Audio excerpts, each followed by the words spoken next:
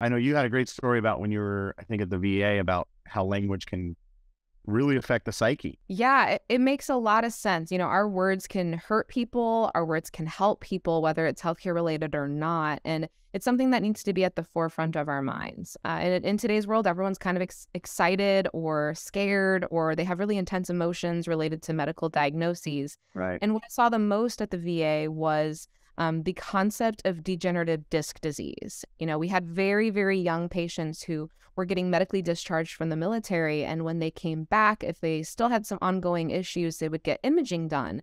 And providers would just blanketly say, like, oh, you're 34. Oh, your MRI came back with some degenerative disc disease. And then it would just be kaput, done.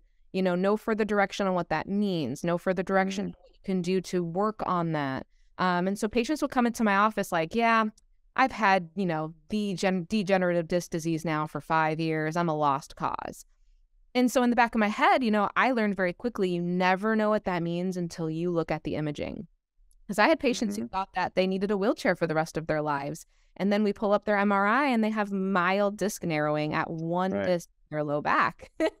right. Um, and you know, these patients, bless their hearts, it's not their fault. It's just that they they never appropriately learned. And the teach back method is a great way where if you are a provider, whether you're a PCP, ortho, chiro, um, neuro, and you are showing a patient what their MRI or X ray shows, at the end of it, obviously describe it, but at the very end, you could report back and say, okay, Shelly, um, let's go ahead and talk about this now. Do you feel like you have a good understanding of what degenerative disc disease is? Right. What does that mean to you? And then right. just see what they say. You know, it could be as simple as them saying, oh, it just means I have gray hair of the spine, but I can do XYZ thing.